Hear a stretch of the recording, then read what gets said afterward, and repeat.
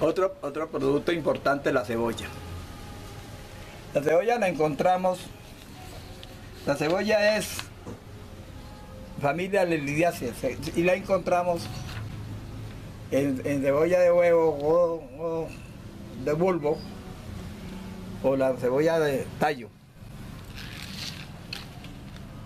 Las vitaminas A, B, C, A, B y C tiene ácido fosfórico, es diurética, es pectoral, contra la epilepsia, contra la hidropesía, con el remal de piedra, nefritis, inflamación de la garganta, para el colesterol y la pulmonía, pulmonía, gripe, 200 gramos de jugo de cebolla y se divide en tres tomas, tomar caliente, vuelvo a repetir, para la pulmonía, la gripe, el colesterol, se, toma el jugo de cebolla y se divide en tres tomas, tomar, tomarla caliente.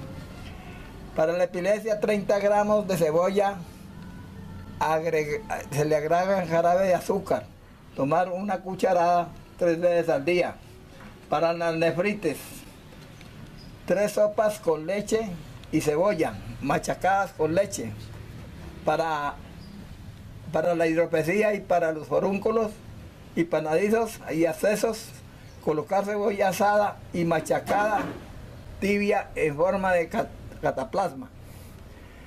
Para todo lo que sirve la cebolla y solamente, no solamente para eso, sino para alimentos. Utilicemos la cebolla siempre para los, para los problemas catarrales, problemas de pulmonía, la cebolla es importante. Utilizarla siempre. Para inclusive para la próstata.